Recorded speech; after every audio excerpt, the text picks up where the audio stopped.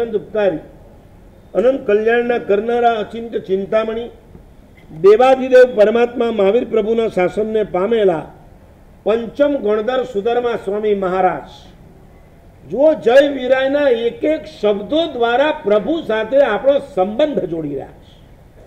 ભગવાનને જય કહી, પ્રભુ, તમારા અમને આશીર્વાદ મળો. તમે અમારા હૃદયમાં બિરાજમાન થાઓ.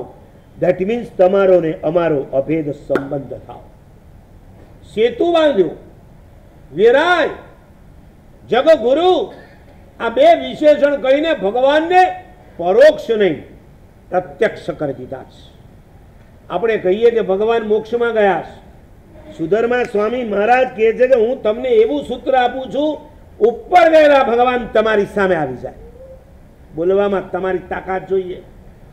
તમે એવા ભાવથી બોલો, હે વિતરા હે જગતગુરુ અને તમને આમ સામે ફિલિંગ થયા વગર રહીએ સાક્ષાત પરમાત્મા સામે બેઠા છે.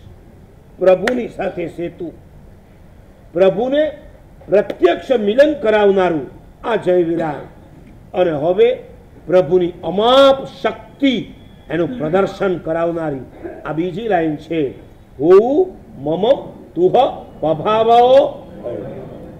હું બોલું ને મારી સાથે બોલશો ને તો તમને આ ચોમાસામાં બીજું કોઈ સૂત્ર મોઢે થાય કે ન થાય, પણ જય વિરાય પાકું થઈ જવા બરાબર બોલો હોવું મમ, તુહ પભાવો ભયવમ. હે ભગવાન, ભયવમ એટલે હે ભગવાન, મને તમારા પ્રભાવે આટલું મળું. તમારા પ્રભાવે કહીને તમારા અહંકારના ચકના ચૂર કરી નાખ્યા પણ મારા સાહેબ, તમે કહો છો બધે ભગવાનનો પ્રભાવ, અમને તો પ્રભાવ દેખાતો જ નથી. ઓકે.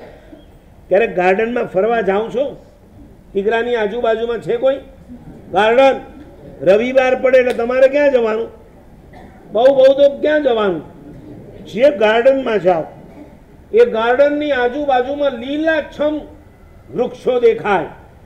વૃક્ષ દેખાય છે લીલાછમ, પણ એ વૃક્ષની લીલાશની પાછળનું કારણ શું છે? બોલો. મૂળિયા. હું હમણાં મૂળિયું નખાવી દઉં. વૃક્ષ લીલું થઈ જાય? લીલું છમ તમે છે ને ગામડું છોડી દીધું, એની સાથે બધું છોડી દીધું. હવે તમને ઝાડ નહીં, થાંભલા પૂછો થાંભલા. મને એક ઠેકાણે રાજકોટમાં અમે ગયા હતા વિહાર કરતા. સૈનિક સોસાયટીમાં ઉતર્યા હતા.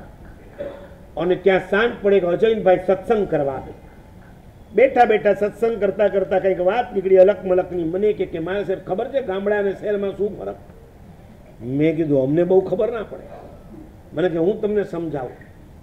જ્યાં અજાણ્યાને આવકાર મળે એ ગામડું અને જ્યાં જાણીતાની ઉપેક્ષા થાય એનું નામ શહેર રાઈટ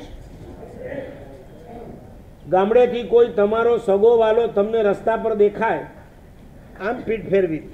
ક્યાંક મોઢું બતાવશું તો ઘરે લઈ પડશે ગામડાની અંદર કૂતરું મરી જાય તો આખા ગામને ખબર પડે, શહેરમાં બાજુ વાળો આખો માણસ ઉકલી જાય, કોઈ કોઈને ખબર પડે.